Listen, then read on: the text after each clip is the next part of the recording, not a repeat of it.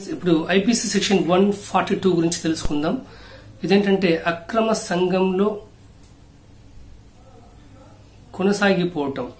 లేకపోతే అక్రమ సంఘంలో జాయిన్ అయిపోయిన తర్వాత అంటే ఇంతకుముందు తెలుసుకున్నాం ఐదు మంది లేకపోతే అంతకంటే ఎక్కువ మంది కలిసి ఒక సంఘంగా ఏర్పడి చట్టవిరుద్ధమైనటువంటి కార్యక్రమాలకి పాల్పడితే వాళ్ళు అన్లాఫుల్ అసెంబ్లీలోని సభ్యులుగా పరిగణించబడతారు.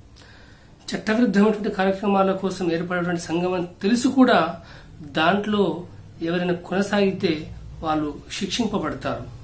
ఎందుకంటే క్రిమినల్ ఫోర్స్తోని కానీ లేకపోతే ప్రలోభాలతోని కానీ ఐదు అంతకంటే ఎక్కువ మంది కలిసి ఎటువంటి నేరాలకు ఎటువంటి చర్యలకు పాల్పడ్డా కూడా శిక్షలు అనేవి చాలా కఠినతరంగా ఉంటాయి. దీన్ని గమనించగలరు. సో అక్రమ సంఘం అని తెలిసి కూడా దాంట్లో కొనసాగితే ఆ విషయాన్ని మనకి ఐపీసీ సెక్షన్ వన్ ఫార్టీ టూలో తెలియజేయబడింది. Thank you.